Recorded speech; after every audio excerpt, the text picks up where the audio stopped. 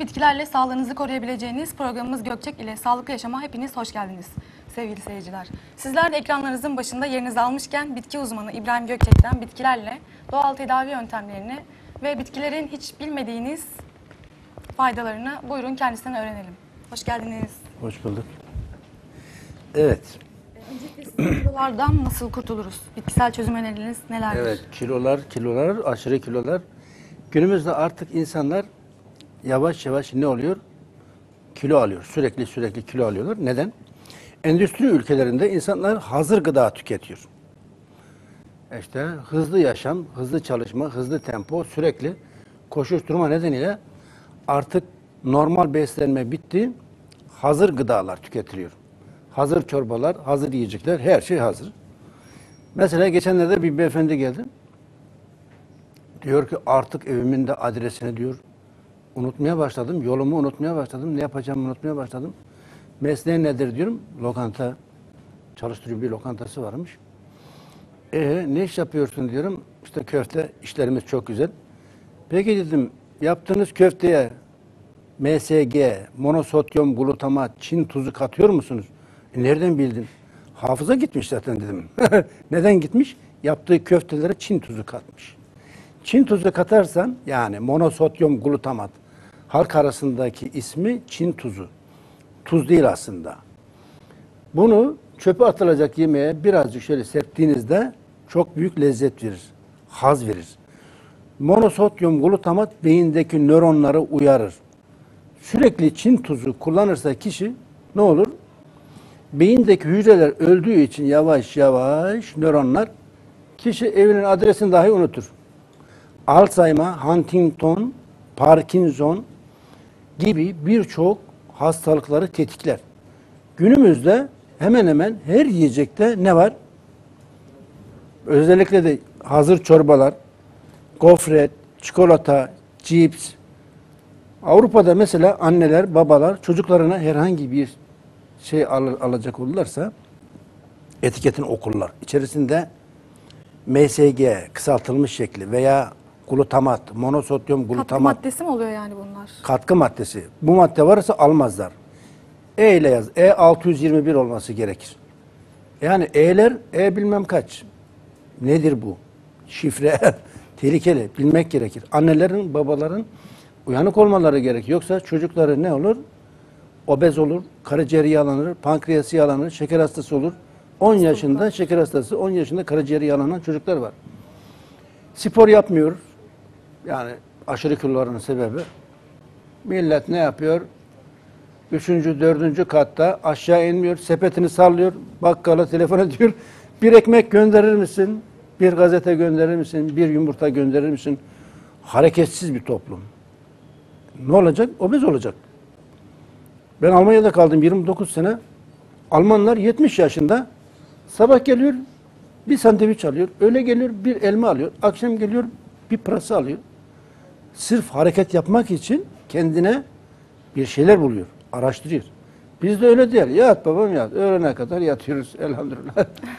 Hareketsizlik Türkiye'de de artık büyük şehirlerde İstanbul, Ankara, İzmir gibi büyük şehirlerde insanlar büroda, ofiste çalışanlar zaten gün içerisinde çalışmıyor. Bir de akşam yoruluyor, spor yapmaya vakti yok. Sürekli bir de yanlış beslenme, gün içerisinde abur cumur gibi. Bir de diyetisyenler ne diyor? Efendim, üç ana öğün, üç ara öğün. Netti altı öğün. Altı öğün bir insan yerse ne olur? Ne olur? Tank gibi olur, yürüyemez. Haklısınız. Şimdi bir de şey çıktı. Ne diyorlar? Efendim karatay diyet. Neymiş? Et, peynir, yumurta istediğin kadar ye. Allah Allah. Yerse ne olur? Asidoz oluşur. Asidoz. Ne demek? Kanı asitlenir. Normal olarak kanın pH değeri 7.40. Kan asitlenirse ne olur? Ölüm tehlikesi.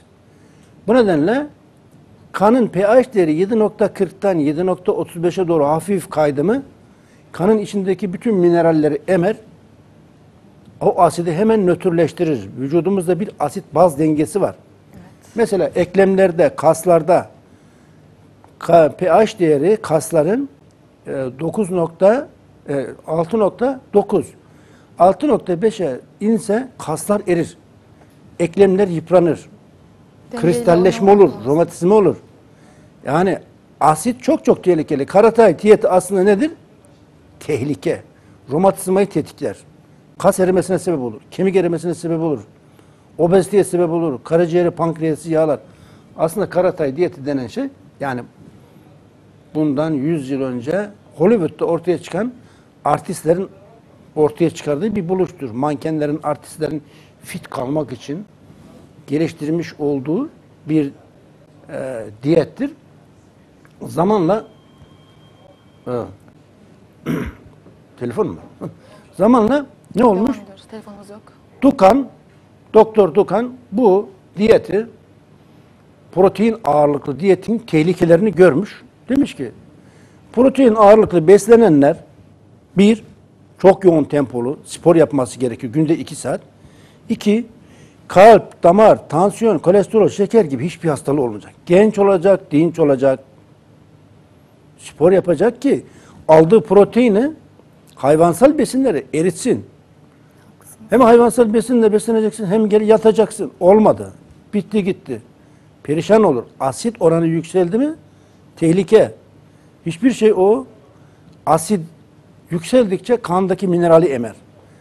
Yani mıknatıs gibi asit minerali kendine çeker bağlar. Teşekkür ederiz. Peki e, karaciğer yağlanmasına bitkisel çözüm önerileriniz nelerdir? Karaciğer yağlanması neden olur, niçin olur? Karaciğer yağlanması Evet.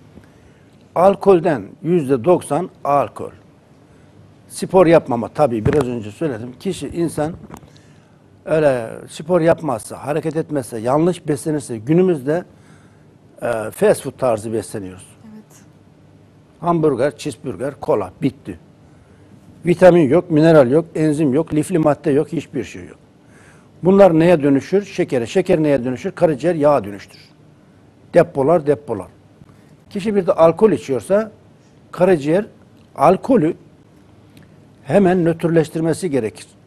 Aldehitlere veya asitlere dönüştürmesi gerekir. Dönüşüm için aşırı ve çok yoğun çalıştığı için karaciğer zamanla yağlanır. Fakat karaciğer yağlanması mesela abdestli, namazlı, hiç alkolle ilgisi olmayan insanlarda daha çok oluyor. Neden? Çünkü bağırsaklardaki mantar yerleşir. Antibiyotik, antihistaminik, antidepresan gibi kimyasal ilaç kullananların bağırsaklarına mantar yerleşir. Kimyasal ilaç kullananların bağırsaklarına mantar yerleşir. Kimyasal ilaçlar faydalı bakteri yok eder, yerine mantar çoğalır. Mantar çoğalırsa ne olur? Mantarlar en ağır alkolü üretir. Etil alkol, metil alkol, bütil alkol.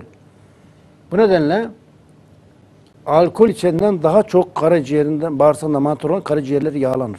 Teşekkür ederim. Karaciğer yağlanırsa ne olur? Ne olur? Karaciğer hassaslaştığı için çok kolay hepatit B, hepatit C şiroza dönüşebilir, karaciğer iflas edebilir. Bununla ilgili çok güzel bir bitki var. Nedir o? Nedir o? Evet. Enginar, enginar, evet. Enginarla ilgili bu gördüğünüz bitki, çiçeği, çok güzel bir çiçeği var enginarın. Bununla ilgili mesela Hamburg'da Riesen Hastanesi, büyük hastane adı üzerinde bir hastane. Burada Profesör Doktor Fintilman Almanya'da 553 hasta üzerinde karaciğer yanılması, tansiyon, kolesterol, lipid, bağırsaklarda şişkinlik, hazımsızlık gibi rahatsızları olan 553 hasta üzerinde denemiş. Hastaları enginarla tedavi etmiştir. Fakat enginarın bu görünen çiçek tabanı değil. Geçenlerde bir doktor, Türk Türk doktoru maşallah çıkmış televizyona diyor ki enginarın şu çiçek tabanını kaynatın, çayını için iyi gelir. Hiç ilgisi yok. Neden? Çünkü enginarın bu çiçek yaprağı, şu çiçeğinin çiçek yaprağı, taç yaprak denir buna. Taç yaprağında etken madde siyanopikrin sıfır. İstediğin kadar bunu çayını yap iç, etkisi yok. Etkisi, etkili olan kısmı neresi? Neresi? Sapının gövdenin yaprağı alt kısmında. Çok çok acı. Çayı içilmez ki. Söylüyor çayını yapımın için iyi gelir. Dünyadan haberi Yanlış yok. bilgi. Enginarın gövdesinin yaprağının çayı içilmez. Çok acı. Zehir gibi acı. Nasıl içeceksin? Ben denedim içemedim. İçen varsa buyursun içsin. İçeri yaprağındaki etken madde çok çok az. Yüzde iki buçuk. bunun destilasyonla, ekstraksiyonla elde edilen etken maddesinin damlası, draşesi, kapsülü kullanılırsa karaciğeri çok kısa sürede tedavi eder. Karaciğer yağlanmasını önler. Teşekkür ederiz tekrar. Ee, peki böbrek yetmezliğine bitkisel çözüm önerileriniz var mı? Evet tabii ki var. Her şey, her hastalığa bir çözüm mutlaka var. Güzel. Doğada. Evet. Allah yani bir dert vermişse mutlaka dermanını da vermiş. Dermansız dert yok. Şimdi böbreklerde iki türlü problem var. Bir, bakterilerin sebep olmuş olduğu enfeksiyon. iki virüslerin sebep olmuş olduğu enfeksiyon. Üç, mantarların sebep olmuş olduğu enfeksiyon. Şimdi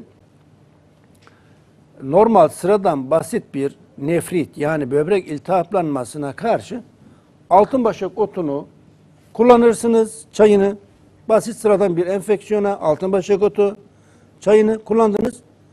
2-3 gün bitti gitti problem yok. Altın başak otu altın başak otu huş yaprağı ayrı kökü civan perçem otu ısırgan otu ardış tohumu bunları kullandığınızda akutsa böbrek problemi. Problem de 3-4 günde nefrit yani böbrek iltihaplanması tedavi olması mümkün. Fakat kronik böbrek yetmezliği farklı.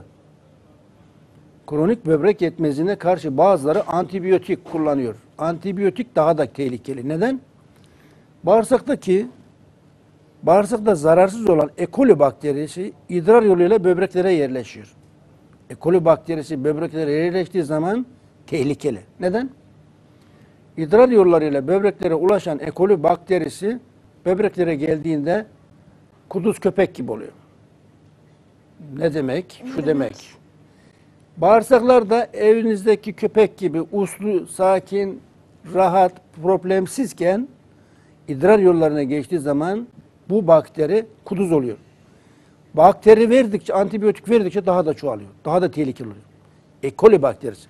Bağırsaklarda problemsiz, Ee, bir telefon bağlantımız var. böbreğe geçtiği zaman Çok tehlikeli. pardon. Evet.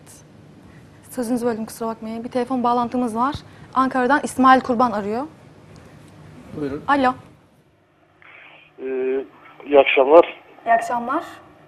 Ya hocama bir sorum vardı ama ben de e, kronik kronik bağırsak yetmezliği.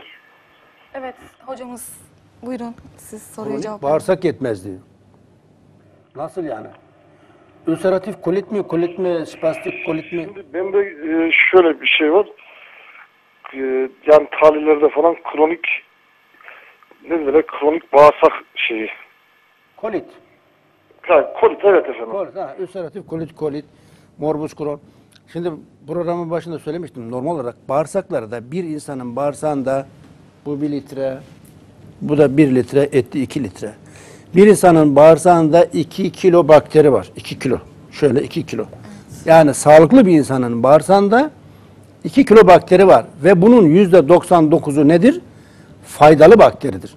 Kişi kimyasal ilaç kullanıyorsa antibiyotik, antihistaminik, antidepresan, ağrı kesici vesaire vesaire.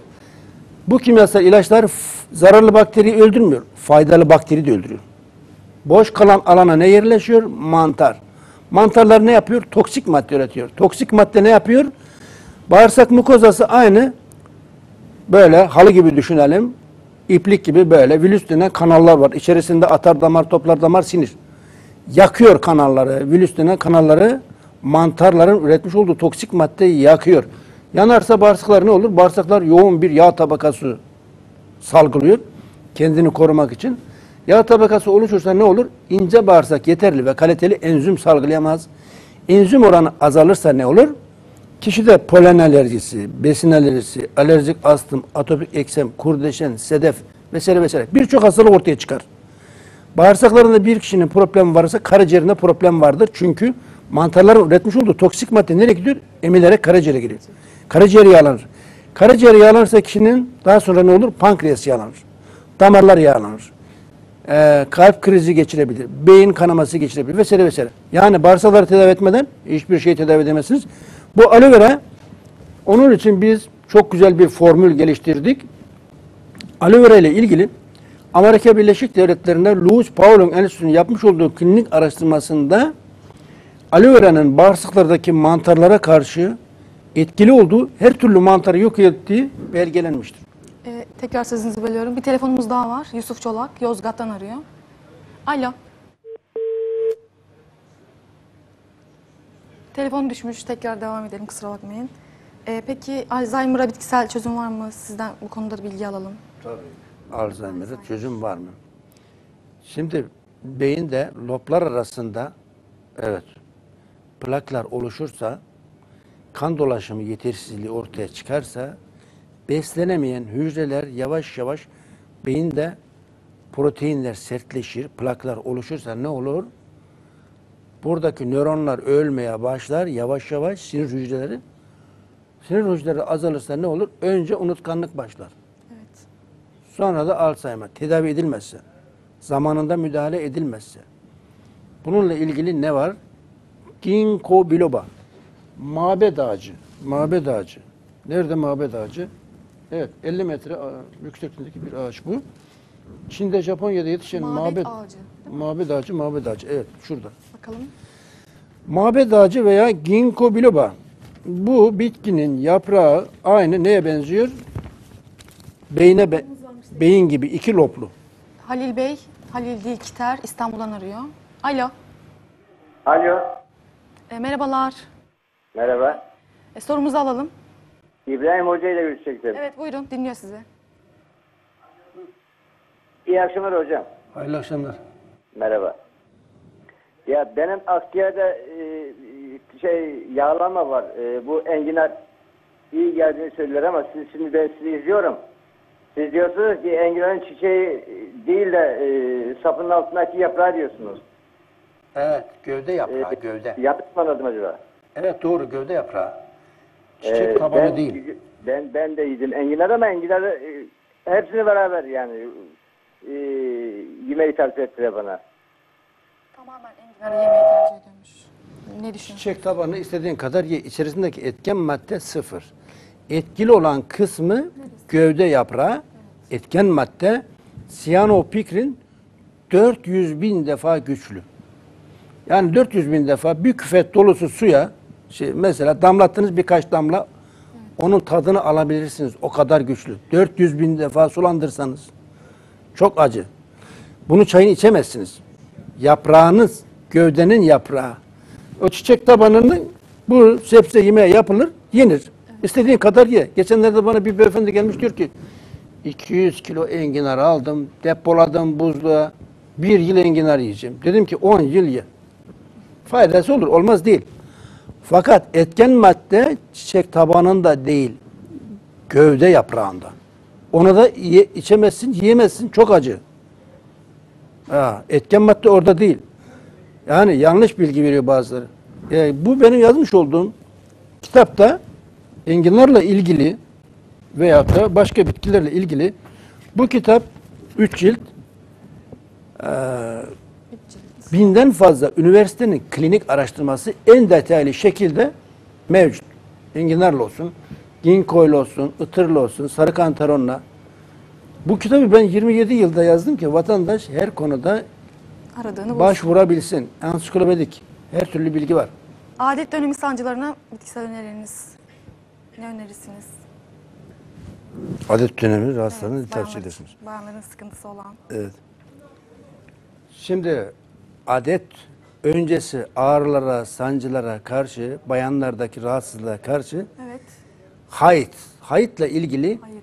yüzlerce klinik araştırması yapılmış. Klinik araştırmalarda mesela Almanya'nın Göttingen şehrinde Profesör Doktor Wolfgang Goethe Bütke bununla yapmış olduğu araştırmada hayıtın bayanlarda gözüken adet öncesi ağrılara, sancılara etkili olduğu, ağrıları, sancıları giderdiği, psikolojik gerilimi önlediği bazı bayanlar adet öncesi gerilirler, strese girerler, bunalıma girerler. Hayat kullandığı zaman ne olur? Bütün gerilim atar, rahatlar, relax. Hayat adet öncesi ağrı sancıları değil, aynı zamanda mesela Marburg Üniversitesi'nde de hayatla ilgili klinik araştırması yapılmıştır. Marburg Üniversitesi'nde yapılan klinik araştırmada ginekologların, jinekolog yani uzman doktorların yüzde yüz kısır yani çocuğu olmaz didinen bayanlar üzerinde hayıtın tohumunun ekstraktından hayıtın şu tohumu tohumu bu da tohumunun destilasyonla elde edilen ekstraktından üretmiş olduğumuz özel bir kapsül. Ee, bunun birleşiminde hayıt tohumu ekstraktı, civan perçemi ekstraktı, üzüm çekirdeği ekstraktı, oğlotu ekstraktı gibi 19 çeşit bitki ekstraktı var. Kısırlığa da karşı gel- iyi geldiği et, e, belgelenmiştir. Artı hipofiz bezesinde oluşan mikro veya makro adenomu da eritici özelliğe sahiptir. Yani mükemmel. Çok çok güzel. Evet. e, programın başında sormuş olduğunuz obezite, aşırı en kilolar için konu. Nedir? Garsinya. Garcinia. Garsinya, Endonezya, Malezya, Bangladeş, Pakistan, Tayland, Tayvan, Kamboçya, Laos gibi ülkelerde, tropik ülkelerde yetişen bir bitki. Bu mandalina büyüklüğünde, bal kabağı şeklinde bir bitki. Bunun birleşiminde, bu meyvenin birleşiminde yüksek oranda hidrositrik asit içerir. Hidrositrik asit ne işe yarar? Bildiğimiz limondaki aside benzer, limon asidine. Evet. Bunun birleşimindeki hidrositrik asit mesela ne yedik? Karbonhidrat içeren bir şey. Mantı, makarna, börek, çörek veya meyve. Hepsi şekere, şekere dönüşüyor. Şeker de bünyemiz yağa dönüştürerek depolar depolar. İşte şekeri yağa dönüştüren bir enzim var. Asetil koenzim. Bunun birleşimindeki hidrositrik asit şekerin yağa dönüşümünü engeller. Böylece kişi hamurlu bir şey yediğinde kilo alamaz. Mucize o zaman. Bu nedenle evet mucize bununla ilgili Amerika Birleşik Devletleri'nde Danimarka'da klinik araştırmalar yapılmış. 6 haftada ortalama 8 kilo 100 gram Oo mükemmel. kilo verdikleri her, herhangi bir özel diyete gerek kalmadan kişi akşamlar ağır yememek ye- yemek yememek şartıyla ha, salata yiyebilir, yoğurt yiyebilir akşamları. Aslında yoğun akşamlar yemek yenmese zaten kilo verir kişi. Garcinia doğal zayıflatıcı. Biz bundan önce funda forte, maydanoz forte, kuşkonmaz forte gibi birçok ürün ürettik. Fakat en son Garcinia ürettik. Garcinia bugüne kadar üretilen dünyada biz üretmiyoruz sadece. Birçok Amerika, Avustralya, Çin, Endonezya, Malezya, Tayland, Tayvan gibi ülkelerde Garcinia'nın birçok piyasada ürün var. Bizim üretmiş olduğumuz Garcinia Forte diğerlerinden farklı. Neden? Forte'dir çünkü. Birleşimde sadece Garcinia ekstraktı değil, funda ekstraktı, kuşkonmaz kökünün ekstraktı, maydanoz ekstraktı gibi 19 bitki ekstraktı var. Evet, bu bu da ginkgo forte. Ginkgo forte nedir? Biraz önce Alzheimer yani erken bunama, bunama veya aşırı unutkanlığa karşı bununla ginkgo ile ilgili ginkgo mabet ağacı demiştik. Bu mabet ağacı e, Alzheimer rahatsızlığı olan 10.815 hasta üzerinde 36 klinikte tedavi denemesi yapılmış. 36 ayrı klinikte toplam 10.815 Alzheimer yani bunama rahatsızlığı olan hasta üzerinde tedavi denemesi yapılmış. Hastalar iyileştirilmiştir ginkgo ile. Nasıl oluyor da iyileştiriyor ginkgo? Ginkgo'nun birleşiminde ginkoloidler denen etken madde var. Ne yapıyor? Pıhtılaşma katsayısını, kanın pıhtılaşma katsayısına PAF denir. Kanın pıhtılaşma katsayısını düşürüyor. Yani kişinin kanı sulanıyor. Ama kimyasal ilaçlar gibi değil. Kimyasal kan sulandırıcı alırsınız ne olur? Fazla sulanır, yallah öldü gitti bitti. İç kanamadan ölür. Kimyasal kan sulandırıcı kullanan ölebilir. Sürekli doktor kontrolünde her hafta. Kanının ayarına bakacak. Kaç derece. Bunu uzun süre kullansa ama ne olur? Fark etmez. Dengelenir mi? Denge. olur? Arıza yok. 10 yılda kullansa yan tesir olmaz. Ginkgo. Güzel. 10.815 hasta üzerinde klinik araştırmalar etkisi ispatlanmıştır. Evet. Böbrekle ilgili. Bu da böbrek yetmezliğine karşı huş forte. Neden huş? Hoş. Huş ağacı, akhuş ağacı böyle e, suyu çok su emer. Topraktan emmiş olduğu su böyle gövde, kalın bir gövdeyi kulağınızı verip dinlediğinizde hışır hışır içinden su aktığını İsmi duyarsınız. oradan geliyor. Bu nedenle de huş denir. Huş. Hış hış hış su akar içinden. Huş ağacı yaprağı böbrek yetmezliğine, böbrek iltihabına, böbrekteki taş ve kuma karşı etkili. Bu ispat edilmiştir. Almanya'da klinik araştırması yapılmış. Fakat huşun huş fortenin içerisinde sadece huş yaprağı ekstraktı değil, altın boşak otu ekstraktı, at kuyruğu otu ekstraktı, ayrık kökü ekstraktı, civan perçemi ekstraktı gibi 19 çeşit bitki ekstraktı var. Vatandaşın böbreğinde mesela kist var veyahut da kum var, taş var. Tertemiz eder. Nereden biliyoruz? Denenmiştir. Klinik araştırması var.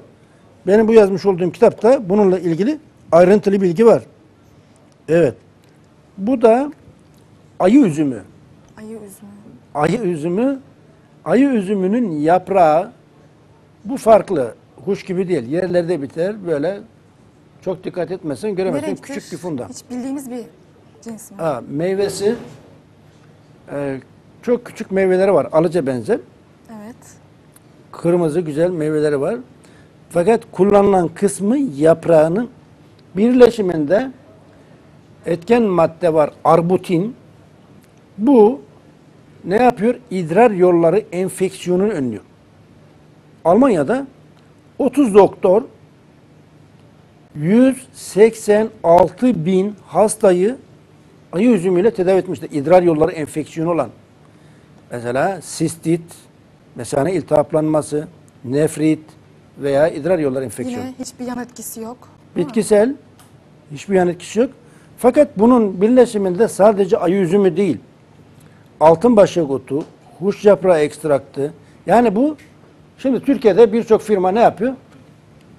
Otu alıyor, bitki alıyor, değirmende öğütüyor, kapsüle dolduruyor. Biz bitkisel kapsül ürettik. Üretmedin. Vatandaşı kandırdın. Bitkiyi öğüterek kapsül dıracı hap yapamazsın. Çay yaparsın. Evet.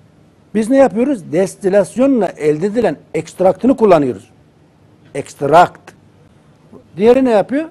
Türkiye'deki bitkisel gıda takviyesi üreten firmaların yüzde 98'i ucuz işçilik, az parayla çok para kazanma. 50 kuruşa mal ediyor, 100 liraya satıyor. Biz 30 liraya mal ediyoruz, 55 liraya satıyoruz. Demek ki yani işçilik maliyetleri vesaire vesaire onları saymıyoruz. Yarını da düşünüyoruz. Vatandaş memnun olsun, geri dönsün diye ne yapıyoruz? Kaliteli, yüzde yüz kalite. Avrupa standartlarının üzerinde. Bizim üretmiş olduğumuz her şey klinik araştırmalarla etkisi ispat edilen bitkilerden yapıyoruz. Birinci, ikinci, üçüncü sınıf bitki değil. Klinik araştırması yapılmış, yapılmış. Nerede, ne zaman, kimler yapmış? Almanya'da 30 doktor 186 bin idrar yolları enfeksiyonu olan hastayı tedavi etmişler. Ayı üzümüyle. Biz de bunu çok güzel bir formül haline getirdik. Evet. Ee, Şahtere ile ilgili konuştuk mu? Hayır. Şahtere. Şahtere nedir? Nedir? Safra artışını, safra akışını artırır. Karaciğeri temizler, karaciğeri arıtır. Safra salgılanmasını artırır. Safra kesesinde oluşan taşı veya çamuru eritir. Safra yolları için.